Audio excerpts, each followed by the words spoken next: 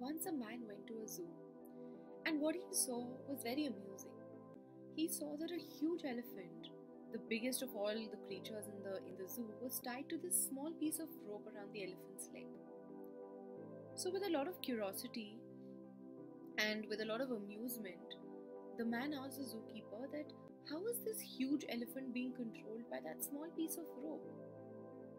The zookeeper answered that you know when the elephants are smaller when they are growing up, they are tied with that small piece of rope which is enough at that point of time to control them, to restrict their movement in the zoo.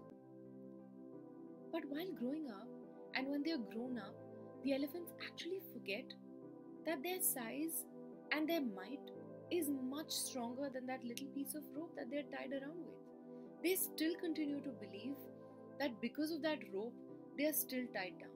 Because of that rope, they still can't move as freely as they want.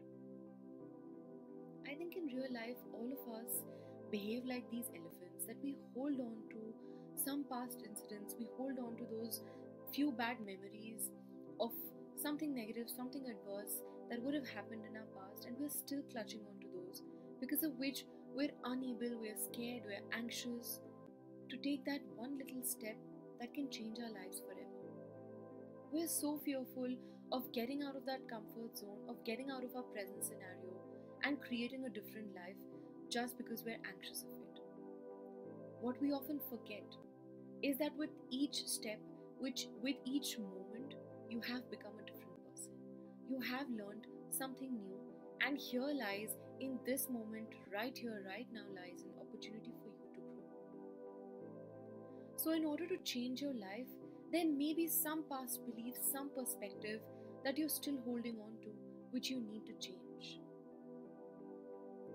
Look at the present scenario. Today, people are welcoming those same vegetable vendors, those same auto drivers, those same people that you actually did not even notice in your in your everyday normal life. Today, you're welcoming them with garlands.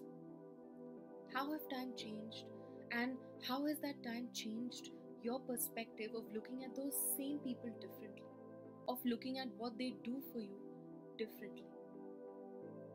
So don't be like that elephant who forgets that their that their, their their might, their size is much larger. All of us in real life are much larger, are much bigger than our past, than anything that has happened to us. All of us think that we're born with this, you know, a, a small reservoir of resilience, a small, you know, sort of a reservoir of strength that has been given to us. But actually, in real life, we can grow with it, we can multiply it. But you can only do that if you get out of your comfort zone.